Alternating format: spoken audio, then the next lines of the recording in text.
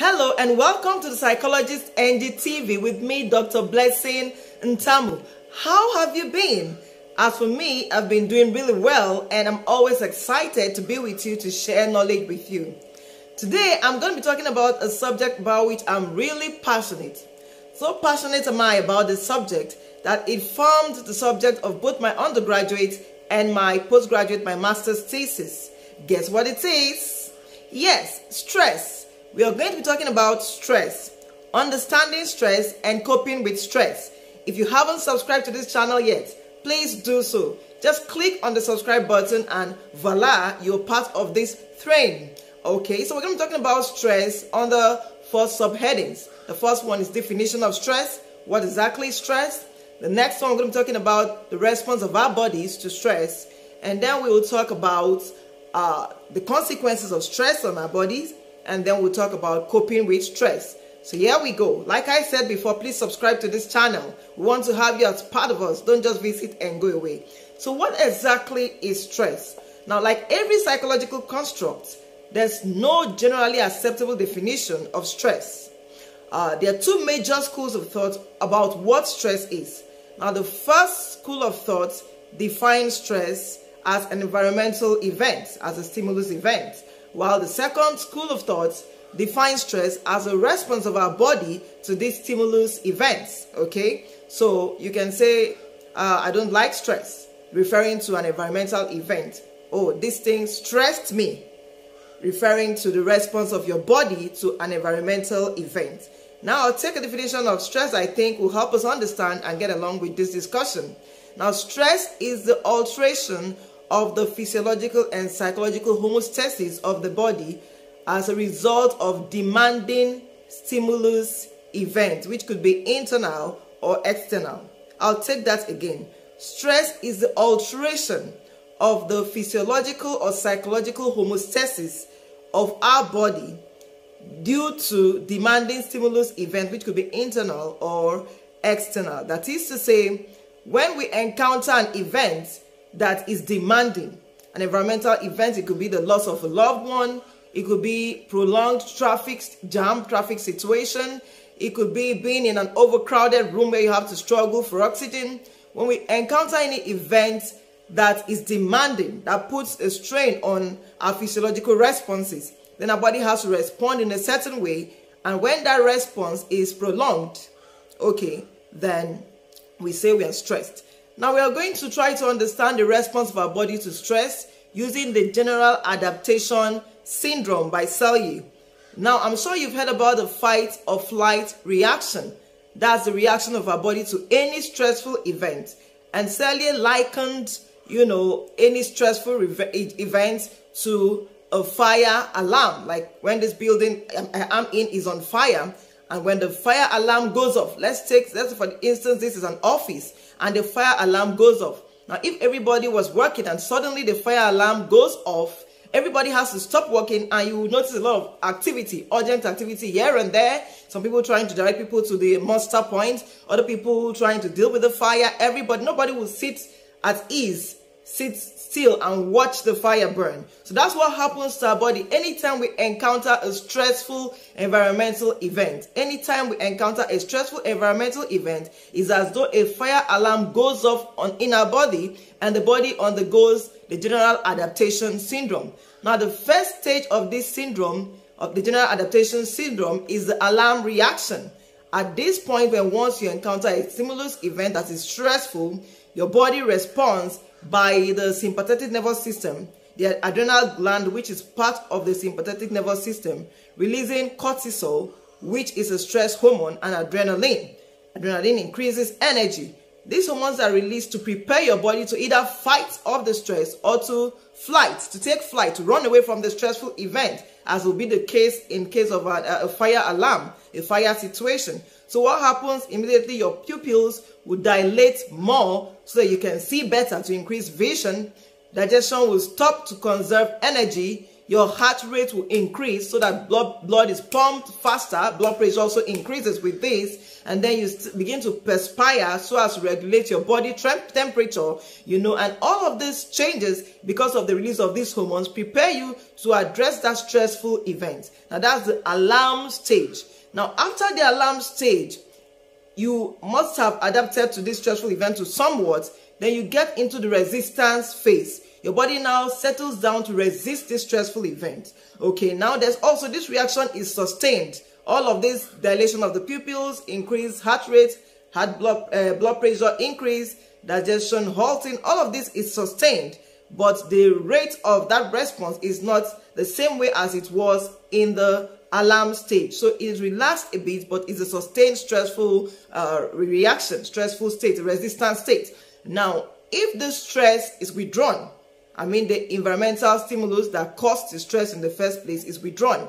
Then your body begins to slowly get off this resistance state, state and begin to repair itself.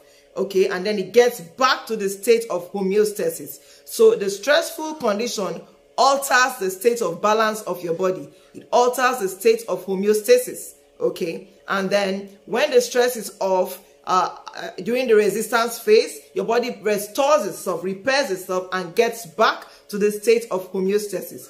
Now, what's happened? What happens in our bodies when this stressful condition is sustained for a long period of time?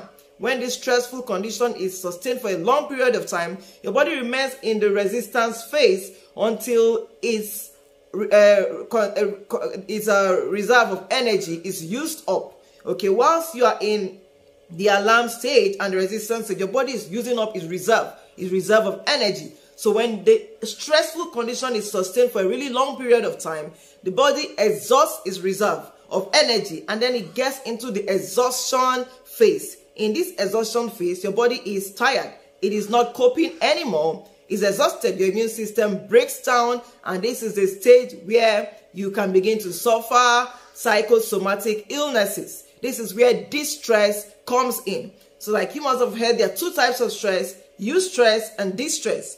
Eustress refers to moderate levels of stress that prepares you to deal with life situation, prepares you to fight back or to flight. Okay, that's eustress. Now when eustress is sustained, when that state of stress is sustained for a long period of time, then you get through the resistance phase to the exhaustion phase that could lead to psychosomatic illnesses and eventually death. I hope you follow through with me. Sometimes I get into these details because I have a couple of students who watch my videos and I have to help them with this to understand these concepts. Okay, now this is how our body responds to stress. So when stress is just for a short period of time and it's not extreme, you can cope with it and your body can be restored after a period of time. But when stress is extreme and sustained for a long period of time, you get into this exhaustion phase means you'll be dealing with a couple of psychosomatic illnesses and eventually it could lead to death. Now, what are these psychosomatic illnesses as a consequence of stress that the stress could take on our body? Okay, one of the consequences of stress is you can suffer from cardiovascular diseases. Okay, you can suffer from a heart attack or any of those heart-related diseases. Stress can also lead to uh, stomach ulcers. Yes, stress can lead us to have stomach ulcers. It can lead us to have colitis. Stress can make us have heart palpitations. So after, just with very little activity, your heart palpitates faster than it should. Stress can lead to regular headaches or migraines. Stress can lead to asthma. Okay? Stress can lead to cancer because, I mean, it breaks down your immune system opens you to attack of flu, of cold, and all of these uh, psychosomatic illnesses. That's why most of the sicknesses we suffer actually as a result of the psychological conditions, the physiological changes in our body. Mostly stress leads to all of these diseases that I have mentioned. Okay, now we get to coping with stress. But before I get to coping with stress, it is important to mention that, you know, the way we respond to stress also is um, individual there's a subjective aspect to how we respond to stress. The way I respond is not the same way you will respond. How we respond to stress will depend on the number of factors. One is our genetic makeup. One, another one is environmental condition, like the kind of food we eat. Uh, another one will be lifestyle condition. You know, the kind of life you live. Do you exercise? Uh, take a lot of water? you know, and then another one will be your uh, skills. What skills you have uh, in responding with the stressful event. And how you perceive yourself your self-esteem and all of this all of these factors will contribute to how your body responds to stress. Let's not miss that. So the response to stress is somewhat subjective. That is why I favor the definition of stress being the response of the body to a stimulus event over the definition of it being the stimulus event. So it's not so as much uh, due to the event as to how you perceive the event. I hope I'm making myself clear. If you have any questions, do not hesitate to leave them in the comment section and I'll respond to them as I see them. And please, if you haven't subscribed to this station yet, click on the subscribe button and please subscribe to this channel. You have a lot to gain and nothing to lose at all. So now let's talk about coping with stress. How can you cope with stress? You know, like I said, the stress everywhere. We cannot miss, you know, stress. As long as you're alive, you encounter stress at one point or the other. But our job is to ensure that we help our body during the resistance state to be to be restored back to homeostasis to the state of balance and we ensure that stress is not sustained stress is not prolonged now one of the things you can do to cope with stress is the age old exercise exercising is a very good coping mechanism for stress. Like we said before, exercise leads to the release of endorphins in our body and this helps us, our body deals with stress and restores homeostasis. Now also other activities like yoga and meditation and mindfulness can also help you deal with stress. Now another thing that can help us cope with stress is listen, listening to music relaxing music. Well, it depends on your choice. As I said, some of these things are subjective. But listening to music is one way to deal with stress, to cope with stress. Now, there are other ways of coping with stress. Another one is delegating responsibilities. Don't try to do everything by yourself. Otherwise, you stress yourself out. And should you fall down and die, believe me, the work continues. Believe me, the home front will go on. Your children, your husband, your wife, they will all go on. So ensure that you delegate responsibilities when you should. That's one way to cope with stress or to deal with stress. Now, another way you can deal with stress is when you see that you're getting stressed, please cut down on uh, watching breaking news where they give you the details of all the terrible things happening around the whole world and elevate your levels of anxiety. Cut down on listening to breaking news. Any channel you know that usually increases your levels of anxiety, you know you're dealing with enough stress already, cut off that channel. And is it a person that's always stressing you out? I mean, some people stress you out intentionally, others unintentionally. But you can stay away from people who stress you out whilst know that you're undergoing a phase of stress so that you can restore your body, your body can relax and get back to homeostasis. Sometimes dealing with stress will simply entail changing your environment. If you know that your stress stems from the environment, it is okay to change the environment and then you probably return later if it's uh, necessary. And there are also some other environments that are peaceful and enhance relaxation, like being with nature. For me, for instance, anytime I want to rest and unwind, I love to interact with nature. Go by the seaside, take a walk in the forest, do some hiking, whatever it is, but I love to interact with nature and that calms down my nerves. So yes, you can do that too. You can change the environment, you can change it to a more relaxing environment and that will help you.